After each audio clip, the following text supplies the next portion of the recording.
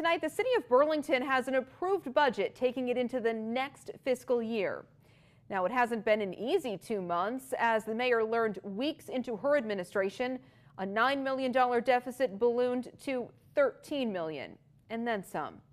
ABC 22's Malachy Flynn shows us how this budget was balanced without any layoffs.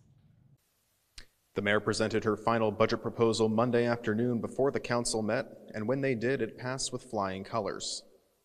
Burlington City Councilors unanimously approved Mayor Emma Mulvaney-Stanak's proposed budget Monday. The budget proposal implements a 2 cent public safety tax, 1 cent less than voters approved, increases the city's gross receipts tax on dining and entertainment from 2 to 2.5%, doubles the city's hotel tax from 2 to 4%, and implements user fees for some city services as new revenue sources.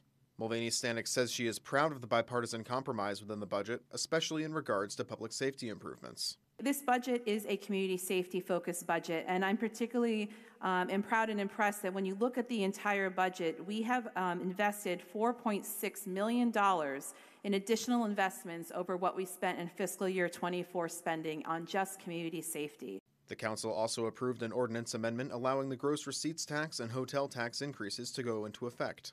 The hotel tax increase will remain after the 2025 fiscal year, but the tax increase on dining and entertainment will sunset after 2025, something councilors disagreed on.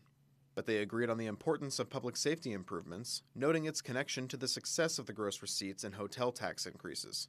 I am confused why there would be a sunset to any part of the gross receipts. We're talking about a $1 inc- increase, a $1 increase on a $200 meal. Um, you know, something that people don't have to go out to do. I think this tax is a good idea.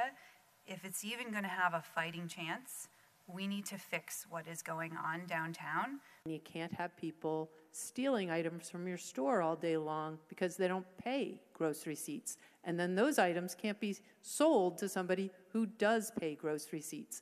The tax increases will take effect on August 1st. The mayor and other city officials say they are already looking ahead to the next fiscal year's budget and hope to turn their sights to 2026. They'll begin preparing for that later this summer. Reporting in Burlington, Malachy Flynn, ABC 22 News.